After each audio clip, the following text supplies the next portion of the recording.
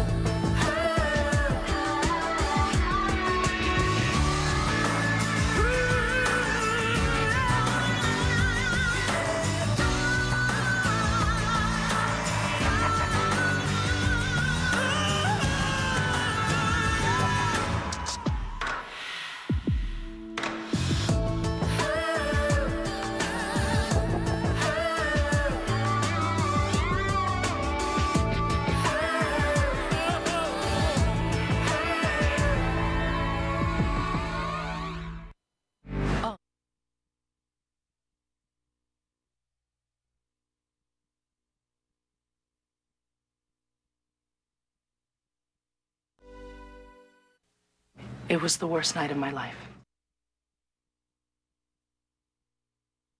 Quick Shine Kit, a $50 value for only $19.95. Call the number on your screen or order online at quickshine.net.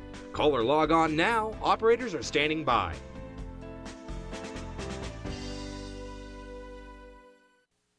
It was the worst night of my life. But it turned out to be the best. Because that's when I met my daughter. Anthony was out of town and I started bleeding. Dr. Campbell met me in the emergency room, but Jen miscarried. it felt like the most terrible thing that could ever happen. Until I heard the nurses talking about something even more terrible. A child had been abandoned outside of the hospital in the cold. And when I saw her, her lips were blue. And she was crying for her mommy, and I was crying for my baby. The child, Molly, was hypothermic from exposure and suffering from a respiratory syncytial virus, most likely the result of having been born to a drug addicted mother. Charlene, my patient. We went through all the proper channels when June and Anthony adopted Molly. No one could find the biological mother. Yeah, it's pretty hard to find a junkie living on the streets. It's not like they answer their email. They're saying that because this drug addict of a mother never officially gave up her parental rights, we never officially adopted Molly. Look, first of all, I had no idea that this involved Dr. Campbell's patients. I didn't know you were Charlene's daughter's adoptive mother. June's daughter. You said Charlene's daughter. Molly is June and Anthony's daughter, Delgado. Charlene has been sober for over a year now. Great. Let's give her an NA chip, not a child. Molly was neglected and abandoned. And you want her to feel abandoned again? She's just beginning to trust. No, I didn't mean. When we were finally able to bring her home, we promised her that everything was going to be okay. And then my mother chimed in with knock wood. So Molly asked us what that meant, and I explained to her that it was an old superstition to keep off the evil spirits. And from that day forward, Molly would knock on her bedpost a hundred times every night. It's only been in the last few months that we've gotten her to go to sleep without doing it. Because we promised her. We promised her that everything was going to be all right and that we would be there no matter what.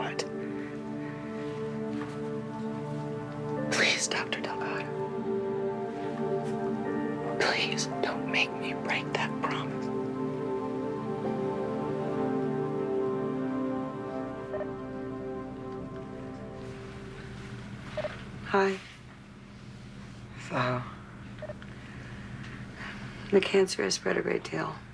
Irene, it's stage four. All right, so what is it? Terms of endearment or love story?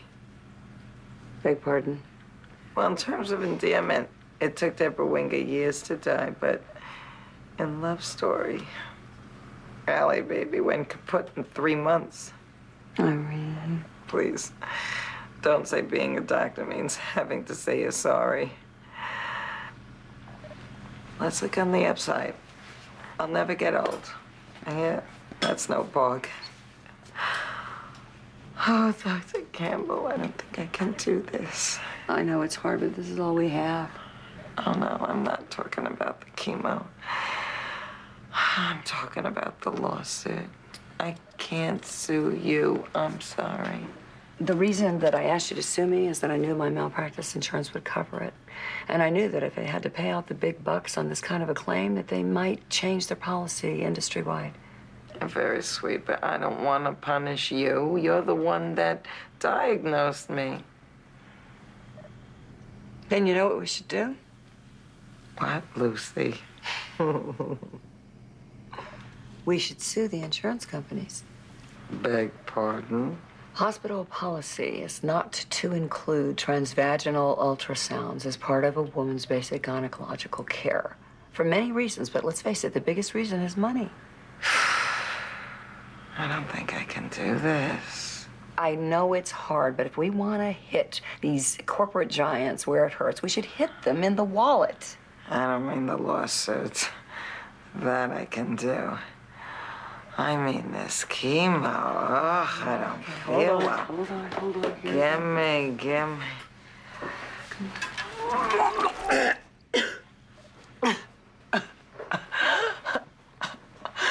oh, war. Ugh.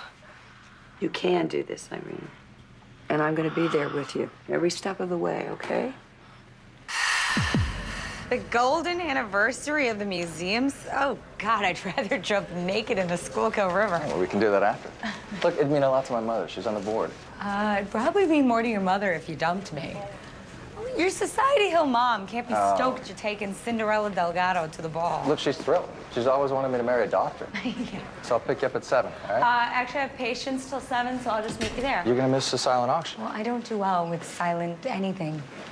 Oh, since it's a golden anniversary, they're doing this thing. Black tie for the men and gold dresses for the ladies. You didn't mention that before. What, you don't have anything in gold?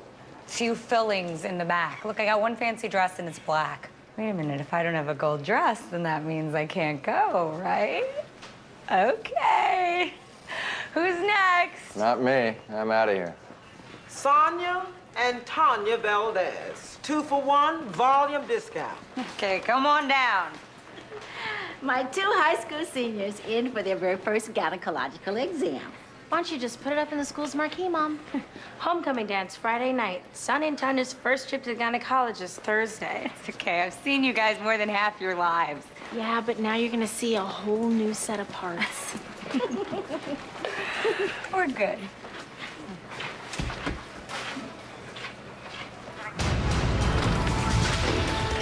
Got your page. LOL, 99 years old, went down at the Green Valley Retirement Home. Director there says you know her? Okay, my count. One, two, and... I volunteer at Valley sometimes. Her name's Hilda Rosenblit. She's an amazing lady. Amazing lady with a BP of 240 over 140. Her meds are whacked. Stroke? Maybe. We need a vasodilator and a Foley cath with urimeter. Check output every five minutes. Hilda survived the San Francisco earthquake, the Titanic, and been a nurse in both world wars. Sort of the Forrest Gump of historical disasters. And she's not gonna die on my watch. Why don't you just say it? Money. June has it, Charlene doesn't. But that doesn't necessarily guarantee a loving home. Charlene abandoned her child. In a hospital because she knew she was too sick to take care of her. It's not like she threw her in a dumpster. You were talking about taking Molly away from the only mother she's ever known. I don't think I haven't thought about that, but Charlene gave birth to her. Yeah, and you know what else she gave her? A lifetime of lung problems and God knows what else. That child is upstairs right now in the pediatric ICU, breathing through a tube because of Charlene. Molly exists because of Charlene. And I, I know that sounds harsh, Andy, but it's got to count for something. For Molly, too. You know, if they could just spend a little bit of time together. Lu. You're asking June and Anthony to trust their daughter to a drug addict. Ex-drug addict. Dr. Campbell. Or so you think. Come on, Delgado. Ladies, ladies, to your offices. Okay? Lu, Charlene's waiting for you and yours. And Dr. Campbell, Dr. Jackson's and yours. Go. Jeez, next thing you know, they'll be wearing bikinis and wrestling in the mud. Charlene? I'm scared, Lu. I'm so scared they're not gonna let me have my daughter back. I've received a notification from the hospital's insurance company. I already told you. I'm a witness in Irene Slater's case against them. Not notification of that. As of this minute, well, actually, as of about 10 minutes ago, you have no medical malpractice insurance whatsoever. Oh, then I'll just have to not malpractice, won't I? This is no joke. No. It's blackmail. They can't just drop me. They have to show cause. I have a spotless record. Not really. There's a reprimand in your file stemming from the Kerrigan case. Oh, mm-hmm. there's absolutely no basis for that complaint. The ethics committee voted to take no action against me. I'm the one who insisted on putting a reprimand in my own file. Nevertheless, from this moment on, if something goes awry while you are practicing medicine, you have no medical malpractice insurance, which means that this hospital, you and I can be sued for all we're worth. So unless and until we can get this matter straightened out, you are not to deliver a single baby, perform a single emergency procedure. If you so much as have to put a Band-Aid on a paper cut, I want you to ask Dr. Delgado to do it for you. Am I understood? On Lifetime Real Women. Real lives, real people, real.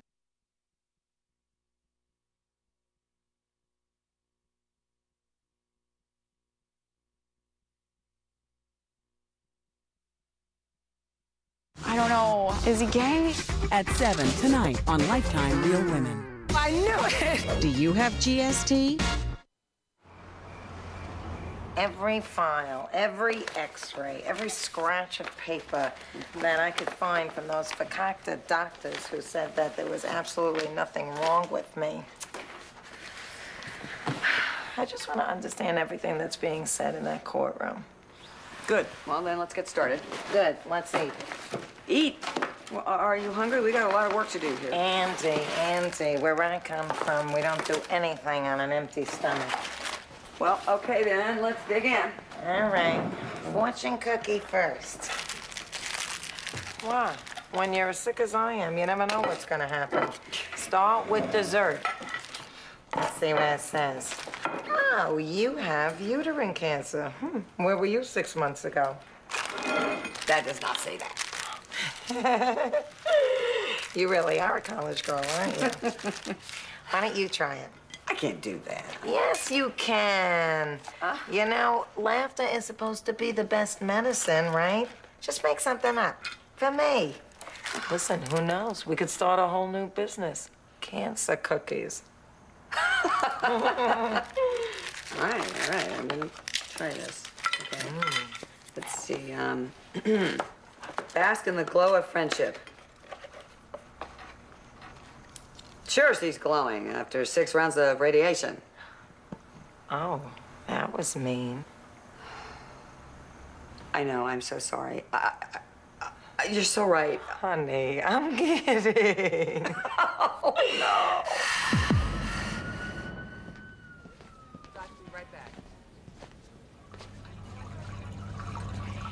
Sweetheart, I'm right here. Hey, look, this is an aquarium. Daddy and I brought you a beautiful aquarium filled with beautiful fish. You know, fish have a special way of breathing too, just like you.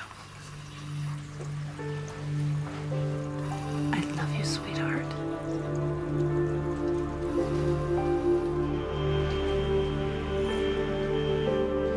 Hey, hey, listen. They're having a sale at Saks. You, uh, you want to sneak out and see if they got any gold dresses? You know, some people actually consider eavesdropping to be rude. What? You and that cute boy were standing right in front of me. Now, Lu, why don't you go to that fancy party with him? I'm just not comfortable with things like that. That's why. Listen, you know the way I grew up. I don't think you need air conditioning if you can just roll down the windows of your car. And I'd rather grab a taco at Pepe's Corner Stand than eat at a five-star restaurant. And sure, now that I'm a doctor, I can afford a nicer apartment and a nicer car, but I don't want one, because that's not who I am. You know what, Lu? You get as caught up in the poor stuff as most people do in the rich stuff. Neither one of them says who you are inside. Buy a new car. Go to that party. Girl, drunk driving accident. Front desk says she's one of yours. Sonia Valdez. Oh my God, where's her sister? Victim number two, significant chest and head trauma. I need a blood gas, CBC, type and screen. On my count, one, two, and... Cardiac thoracic down here now. Portable chest x-ray. Okay, I'm gonna need pictures of her C-spine and a head CT. Lactated ringers. Yes, doctor. 25 grams of mannitol IV push. Pupils are blown. 45 mannitol. Non-responsive to deep pain. Pulse ox 60. We're gonna need a tuber. Pressure's dropping. 100 mics of epi. Oh no. They've been in a very serious car accident. Glasgow 3.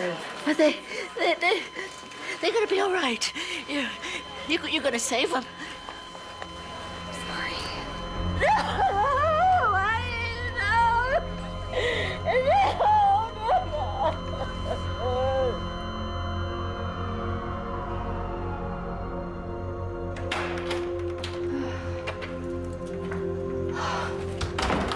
Talk about the worst night ever. Sisters. Twins. Drunk driving accident after the homecoming dance. We lost them both.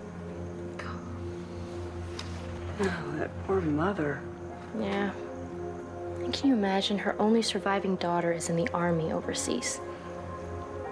You send a child across the world, serve in the military, you worry about her. Don't expect to bury your high school age daughters here at home.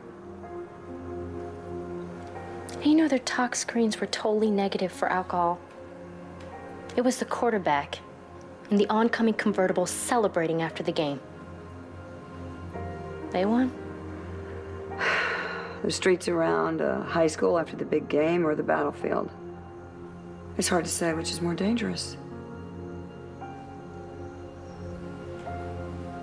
I have stage four uterine cancer, which wouldn't really be so bad, except there only are four stages. Kind of makes my survival rate suck. How many doctors did you go to before you were diagnosed? Seven. I went to seven doctors, including Dr. Campbell, who was the only doctor that finally, finally gave me an accurate diagnosis. Were the other six doctors inferior? I think that they were just doing what they're trained to do. For instance, the pap smear. That is only good for cervical cancer, nothing else. Most women don't realize that. So if you have a problem north of the cervix, forget it. You're out of luck. It's like the dentist just checking your front teeth. I'm sorry, do I have to answer all these questions? I mean, I, I, I'm happy to, honestly, but I just do have something that I would like to say, and I just would like to be able to say it. Of course. Objection. Lawyers ask the questions, witnesses answer them. She's right, Mr. Phillips. Uh, fine, Your Honor. Miss Slater, do you have something to say? Yes. What is it? I just believe that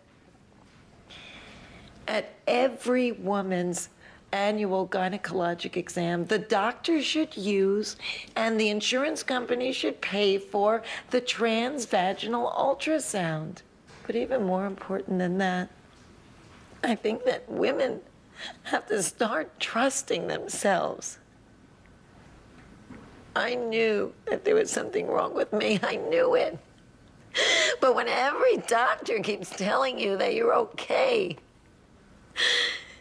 you want to believe them. Don't. Make the doctor give you the test. Make him do it. And then if he's right and you're fine, great. But if you're not, there is a cure for cancer. Early detection equals survival.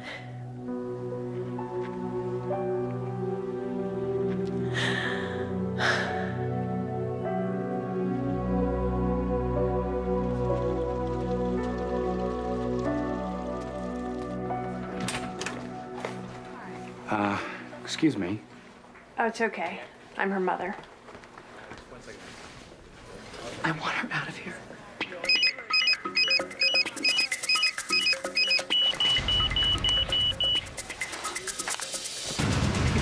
Business being anywhere near my child. No, she's my baby. She needs to see me. And where was your concern for her needs the night you abandoned her outside in the dead of winter? She could have died. No, I, I left her here at a hospital where she would be safe. She is safe. And I thank you for that. I really do. But I'm clean now, over a year, and, and I'm ready to take her back. Charlene, this isn't the right place. Take her back? Like she was on loan? No, she's my baby. She's not a baby. She's a four and a half year old little girl. She loves to play dress up. She loves fishies. She loves to stomp in the leaves. You don't know anything about her. But I want to know her. I want to take care of her. Really? And what are you gonna do when she's hurt, or she's sick, or she's scared? You don't know anything about being a parent. Any dog could have a baby. Yeah, you couldn't. That's what my lawyer told me. That's why you had to steal mine. And what makes her yours? You don't. Because one night you got knocked up in some alley and you proceeded to pump her with drugs for nine months. Chelsea, Or that you're you gonna regret. Dumped her in a parking lot. Is that what makes her yours? I am her mother. Oh, oh. Peter, get a gurney. Now. One of you boys has a girlfriend?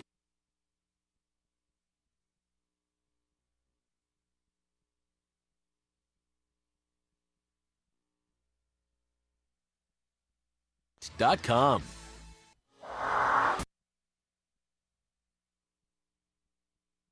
America premieres Saturday at 9 on Lifetime. 15 years of drug abuse, possible acute blowout of the aorta. On my count, one, two, and. You give me an IV, O2, and a cardiac monitor. Charlene, stay with me, okay? We've been through worse than this, all right? What's on the monitor? sinus tachycardia. Good, good. She's stable. Charlene, can you hear me? No. You're gonna be okay. Okay? You need lidocaine, cocaine, and an epi on standby? Ah! Woo! Phyllis Norton, 42, in labor, six centimeters dilated. You're gonna be fine, Phyllis. Just keep breathing. Can someone call my husband? Will do. One, two, and... Find a focal point, Phyllis. All right. Hey, you can't do this. What do you mean I can't do this? Keep breathing, Phyllis. I don't mean to sound like Dr. Jackson, but what about your insurance? Okay, everything is gonna be just fine. Dr. Delgado is gonna take over. Hey, Phyllis, I'm Dr. Lu Delgado. I'm a partner of Dr. Campbell. Why is it Dr. Campbell? See the baby's head? You do? And the shoulders, which appears to be a little bit stuck. Recession? Yeah, I think so. What does that mean? What's going on? Notify the OR we're coming up for a C-section stat. C-section? What? Why? We don't have time to go to the OR. She'd deliver in the elevator. Three floors up. Yeah, it's three floors up. I'm delivering her right here. She's dissociated. We'll break the baby's clavicle. She's my patient now, Andy. I, I gotta do what I gotta do. Okay, I want you to keep breathing, Phyllis. Keep breathing, okay? I'm gonna try and rotate the baby and maneuver the left shoulder blade out first. I want you to scooch down even more. There you go. You're gonna put the knees to the abdomen and we're gonna apply pressure to your uterus and your pelvis. As we try and force the baby's shoulders out. Good. Okay. Welcome to the world, little guy. Is it gonna be okay? Beautiful. Yes, yes. He's great. Stubborn, but great. Just like the doctor who delivered him. What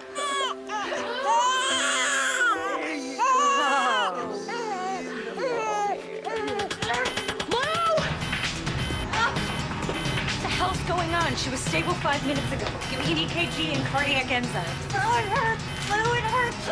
EKG shows a large ST segment elevation. She's having another heart attack? How can that be? She was stable. She was fine. Until she drank an entire bottle of liquid cocaine.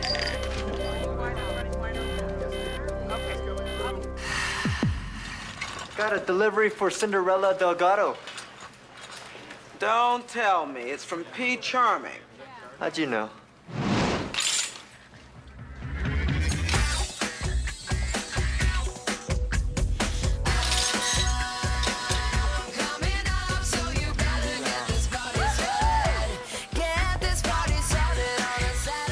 Barbie had a dress like this, but I only let her wear it on special occasions.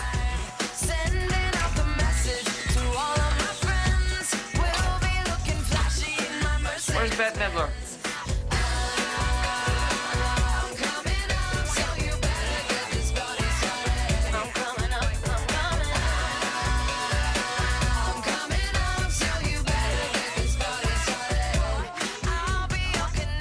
Far from those army khakis, huh, Dr. Campbell?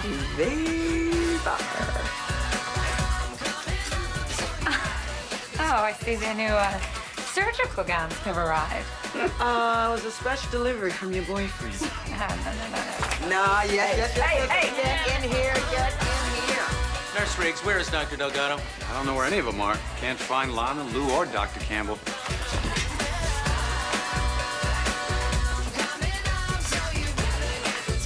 Obviously, I'm paying all of you way too much. Wow. That's all I got. Wow.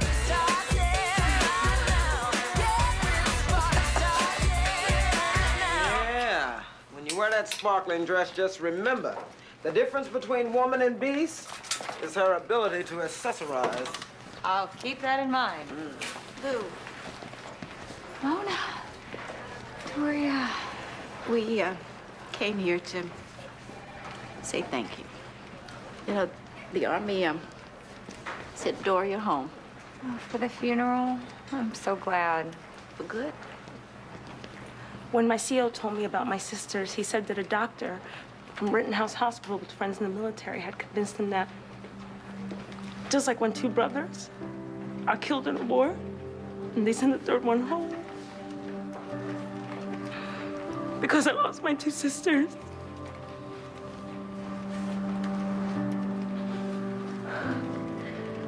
They sent my only other baby back to me. Not the homecoming anyone expected. But thank you, Lu. Mona. Daria. I am so glad you two have each other. But I no, didn't. No, Thank you. Thank you. Come on, sweet. Let's...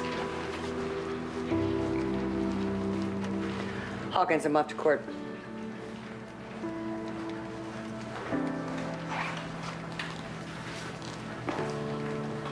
I had to do something with my time. It's not like they're letting me practice medicine.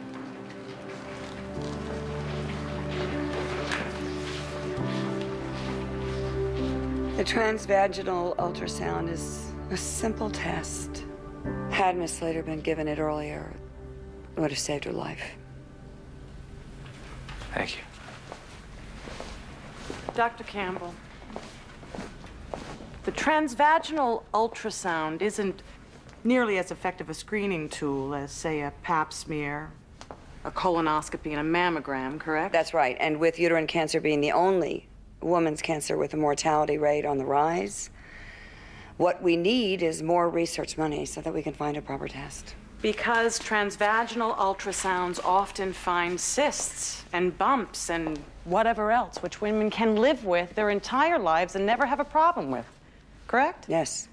And it's possible, and in fact, probable, that if every woman with Miss Slater's vague symptoms were given such a test, every doctor would find something.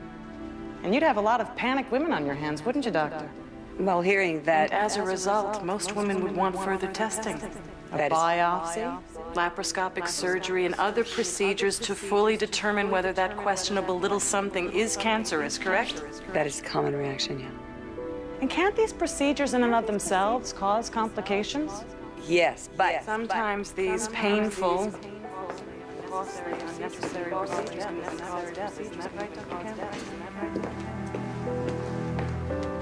Irene. Oh, my testimony went badly, but it didn't go that badly. Andy, I think you have to take me back to the hospital.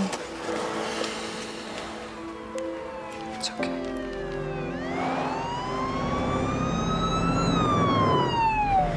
We're not doing very well, are we? Don't worry. As soon as I get you back to the hospital, I'm gonna put you back on chemotherapy, and then you're gonna get better. How long?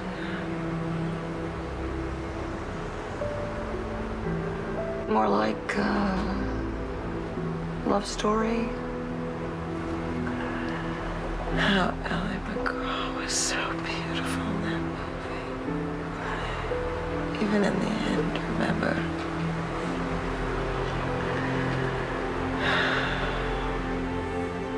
Irene, I'm sorry.